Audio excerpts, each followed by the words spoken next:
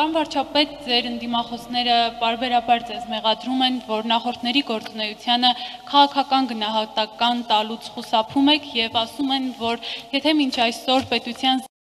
Դատմանը քաղաքական գնահատական չի տրվել, սա ենթադրում է, որ դուք որոշակի պայմանավորվածություններ ունեք, օրինակ Սերժ Սարգսյանի հետ։ Ինչպես կարձագանքեք։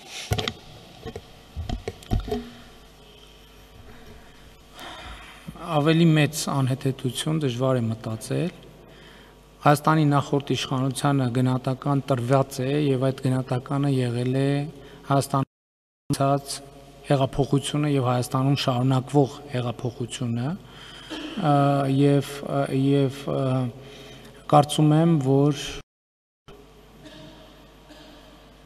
գնահատական տալը ուղակի դուք հիշում եք Իմիջայլոց, որ 98 թվականին, երբ որ իշխանափոխություն տեղի ունեցավ, արծացվում էր նախորդ հանցավոր ռեժիմին գնահատական տալու այդ process-ը շատ մեծ սկսվեց եւ արդյունքում ավարտվեց Բաղրամյան 26-ի կայքում տեղադրվող տեղադրված մի քանի էջանոց փաստաթղթով, որտեղ ասվում էին բաներ, որ հայտնի են եւ որը ոչ մի բան չբերեց։ Մեզ ուրիշ բանի համար էլ են քննադատում, մենք ասում են ասում են շատ եք քննադատում նախկինների չարածների վրա բայց ամեն ինչը որ ներկայացնում եմ ինչ է եթե ողջ ոչ նախորդ նախորդ իշխանության գնահատական ասենք այդ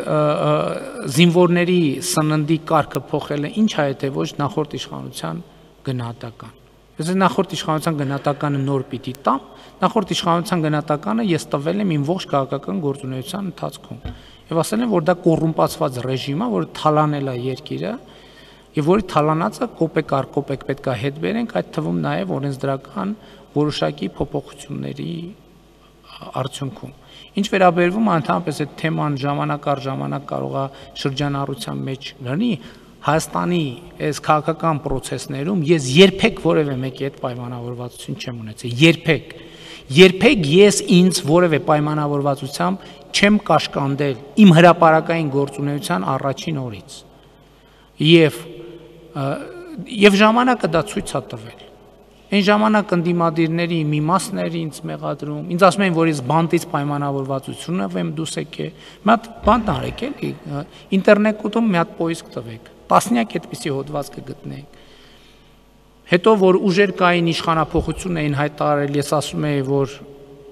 ձեր հայտարարած իշխանապողությունը վստահություն չի ներշնչում, նրանք էին մեղադրում մեզ պայմանավորվածություն ունենալու մեջ։ Հետո ժամանակը ցույց տվեց ով ում հետ ինչ էր պայմանավորվել։ Ես իմ ողջ քաղաքական գործունեության ընթացքում պայմանավորվածություն ունեցել եմ միայն մի սուբյեկտի հետ եւ այդ սուբյեկտը Հայաստանի ժողովուրդն է ու քաղաքացին եւ այդպես լինելու է միշտ ստվերում որևէ բան անել եւ այսօր բանին այսօրվա վիճակին էլ է վերաբերվում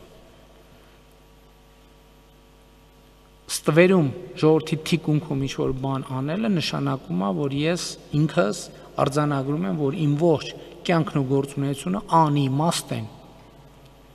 Իմ ողջ կյանքն ու եթե ձեր ասացի թեկուս